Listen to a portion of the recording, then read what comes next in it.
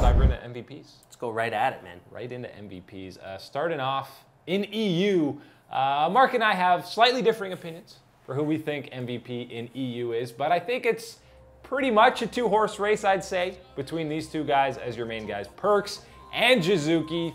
Somewhat comparable numbers. I got to go with Perkz just because he is the full focal point of that G2 squad, and I know that Jiizuke is as well, uh, but I just think Perk so far has had a more dominant split, especially with that last week, what kind of happened to Vitality, their first OT, O2 week. We'll see how they rebound after that, but I gotta go with Perkz.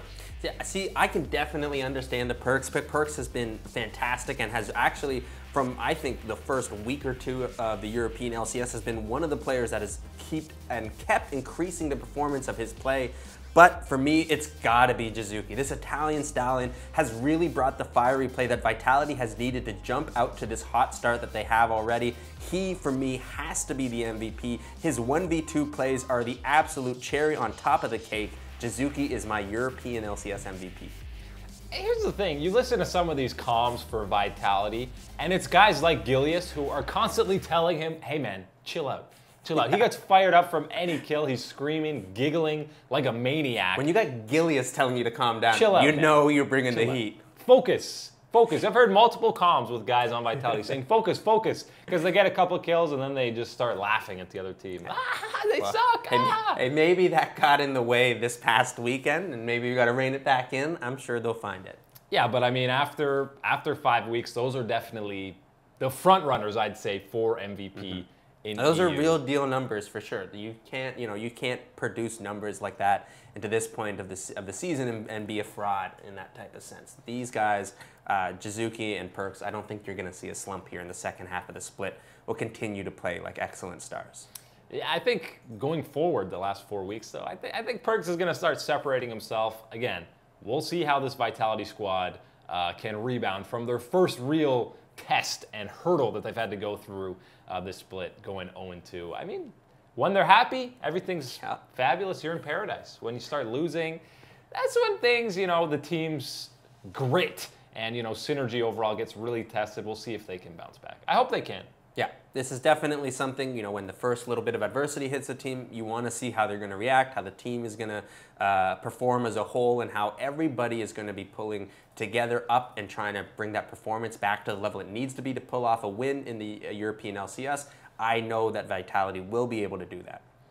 Uh, let's let's go right. Stick with EU. Move over to the rookies, where I've got a little bit of a cop out. Uh, you had Jiizuke as your MVP. I think Perkz is going to get MVP, which means rookie of the split for me is going to go to Jiizuke because he's not getting MVP. Uh, you like Minitroupax. I just think, Yeah. I mean, Jiizuke's in the MVP conversation. If he's not going to win MVP, he gets rookie. See, I have no problem agreeing with that one, but for me, I think that he's good enough to win that MVP in his own right, and that leaves Minitroupax as the EU rookie of the split. This guy has come in, he's performed absolutely all you could ask and more from the AD carry position. He's really shown himself to be in at least the top three at his position in the European LCS, and his aggression and plays and the ways he's picking up these kills, I've really been impressed with his play. And you know, he's bringing out some champions that we haven't seen all the time, and we haven't seen in a long time, featuring Ziggs, which we haven't seen all the way from spring last year. So I'm really excited by his play so far, and he's got to be my pick for your uh, European Rookie of the Split.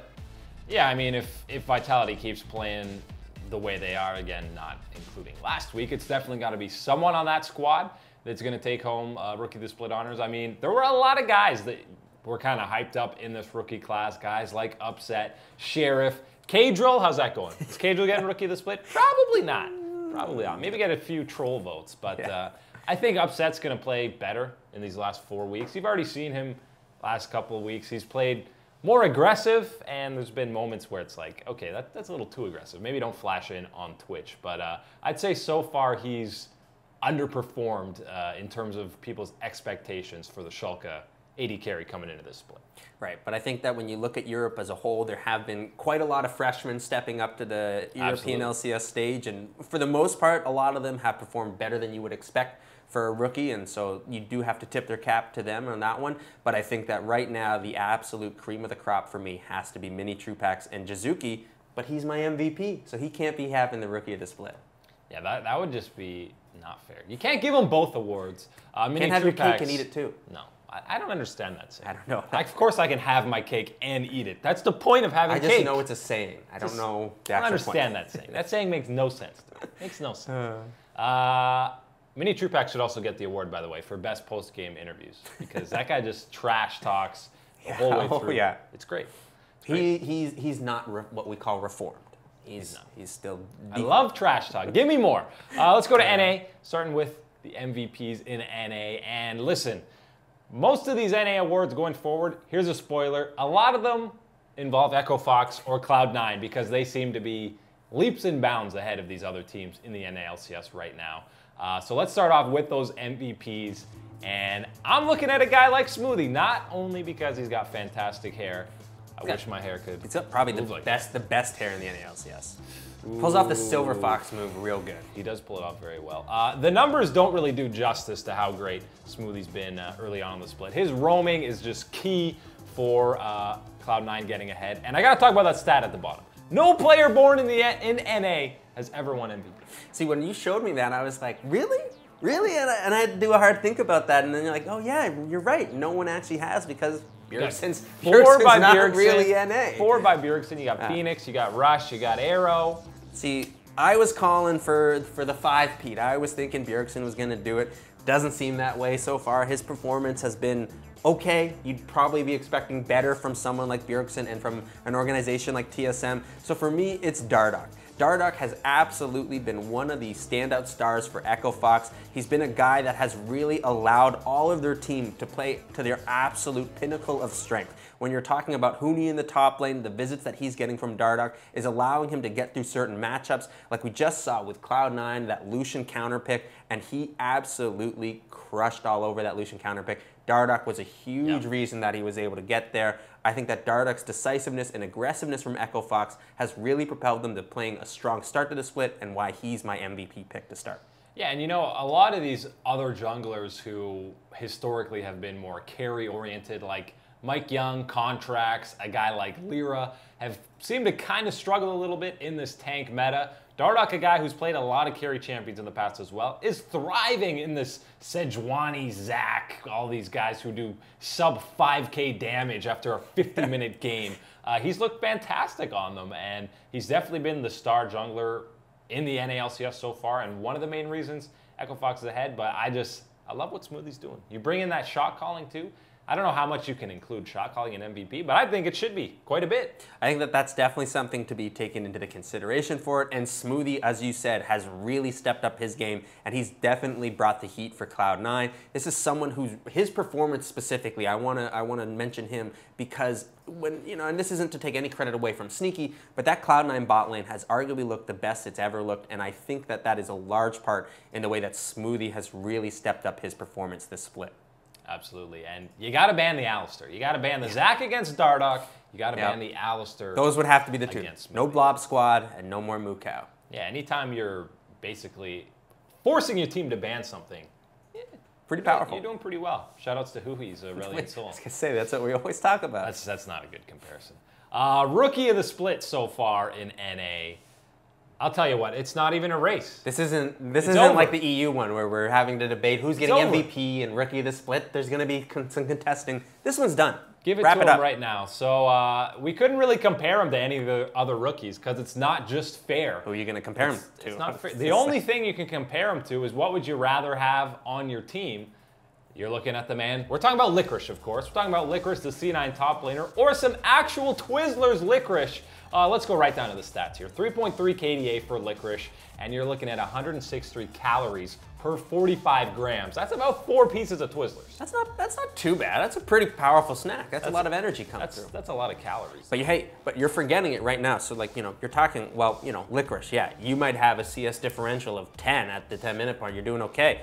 But you know, licorice, actual licorice, 19 grams of sugar. That's a lot of energy coming in through for you. Yeah, I don't know if you want that much sugar. The main stat there was the iron.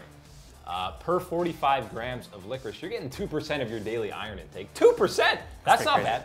But hey, if you're taking C9 licorice, you're getting your daily percentage of wins in League of Legends. This And guy, solo kills. Look at this guy. oh, loving it. He has really performed, and this is a guy who I thought would be again the rookie of the split coming into here because I thought that we didn't have as many uh, exciting rookie options in North America, save you do in Europe. But what you've seen from his performance so far absolutely has solidified that uh, that result that he should be getting this rookie of the split trophy and earning it based off of his gameplay and not just being because he's there type of thing.